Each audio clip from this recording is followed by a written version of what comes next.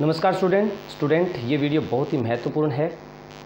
BA part first BA BSc BCom part first के जो विद्यार्थी इस वर्ष अपने डॉक्यूमेंट वेरिफिकेशन करवाने वाले थे, उनमें से जो विद्यार्थी वंचित रह गए, उनके लिए बहुत ही महत्वपूर्ण ये अपडेट है, जिसको आप ज़्यादा से ज़्यादा शेयर करेंगे।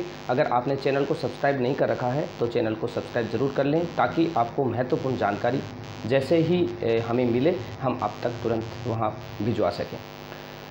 B A B S C part first के जितने विद्यार्थी हैं, जो डॉक्यूमेंट वेरिफिकेशन कराने से वंचित रह गए, क्योंकि 27 तारीख डॉक्यूमेंट वेरिफिकेशन कराने की अंतिम तिथि थी, काफ़ी ऐसे विद्यार्थी हैं जिनके डॉक्यूमेंट अभी तक तैयार नहीं हुए कुछ विद्यार्थी ऐसे हैं जिनके जाति प्रमाण पत्र नहीं बने, कुछ विद्यार्थी ऐसे हैं जिनके ई प्रमाण पत्र नहीं बने।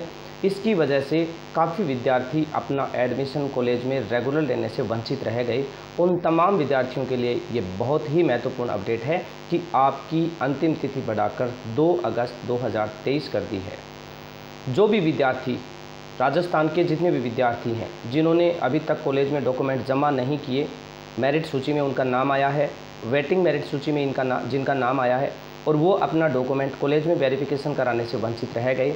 उन तमाम विद्यार्थियों को मैं ये जानकारी दे दूँ कि आपको एक बार फिर से दो तारीख तक मौका दिया गया है डॉक्यूमेंट वेरिफिकेशन कराने का और कॉलेज में डॉक्यूमेंट जमा कराने का। जो भी विद्यार्थी इस डॉक्यूमेंट वेरिफिकेशन से वंचित रहे हैं, वो सभी विद्यार्थी अपने डॉक्यूमेंट कंप्लीट करके विश्व राजकीय महाविद्यालय में अपने डॉक्यूमेंट वेरिफिकेशन करवाकर उसकी फ़ीस तुरंत जमा करेंगे ताकि आपका कॉलेज में रेगुलर एडमिशन हो सके। इसके साथ एक महत्वपूर्ण जानकारी और दे देता हूँ कि मैं शाम को साढ़े सात बजे से लेके नौ बजे तक लाइव आऊँगा। कोई भी विद्यार्थी को किसी भी प्रकार की अगर कोई समस्या है तो वो सभी विद्यार्थी शाम को साढ़े सात बजे का लाइव अटेंड ज़रूर करेंगे ताकि आपको मैं किसी भी प्रकार की परेशानी है डॉक्यूमेंट संबंधित अगर कोई परेशानी है तो उस सब परेशानियों में मैं आपकी प्रॉब्लम को सॉर्ट आउट कर सकूँ। तो शाम को ज़्यादा से ज़्यादा विद्यार्थी जो है, वो लाइव अटेंड करेंगे और मेरे साथ लाइव पे कनेक्ट होंगे। थैंक यू धन्यवाद।